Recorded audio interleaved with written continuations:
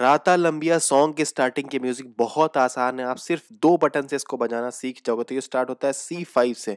सी five एक बार, फिर दो बार, फिर दो बार, फिर दो बार, फिर एक बार। अब इसको स्पीड में दो बार रिपीट करिए। फिर आगे का पार्ट सीखने के लिए कमेंट करिए।